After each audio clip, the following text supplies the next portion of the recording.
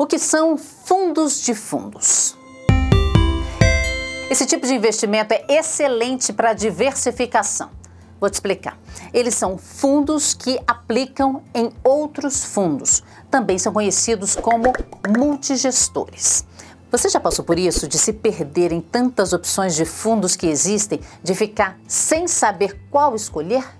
Pois é, então agora imagine um profissional de mercado que tem na sua frente uma infinidade de fundos e que investe um pouquinho em cada um dos que ele acha bons. Pois é isso que faz um gestor de um FOF, ou fundo de fundo. Isso, na prática, dá acesso ao investidor comum, pessoa física, a fundos nos quais ele nunca teria dinheiro para investir.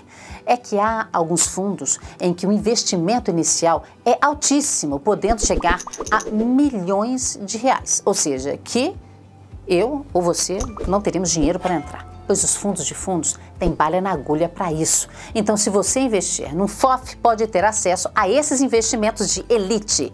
Outra coisa, tem fundos comuns que são um sucesso, captam tudo o que queriam captar e fecham. Ninguém mais pode entrar ali. Para o cidadão comum, a única forma de entrar lá é através de um FOF que já se posicionou antes do fechamento ou negociou sua entrada depois, já que tem poder de barganha maior. Alguns fundos de fundos têm investimento inicial bem baixo, coisa de 100 reais. Os FOFs mantêm pelo menos 95% de seu patrimônio investido em cotas de fundos de uma mesma classe. O resto pode ir para títulos públicos ou privados de renda fixa. Já os fundos de multimercado podem investir em classes distintas. E com os fundos multigestores, a isenção de imposto de renda, quando o dinheiro passa de um fundo para o outro internamente num rebalanceamento.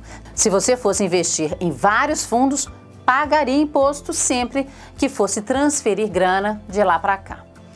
Interessante, né? Eu vou deixar um link aqui na descrição para você abrir a sua conta na Genial Investimentos. E não se esqueça de se inscrever aqui no canal para ver mais conteúdos como esse. Informação é poder.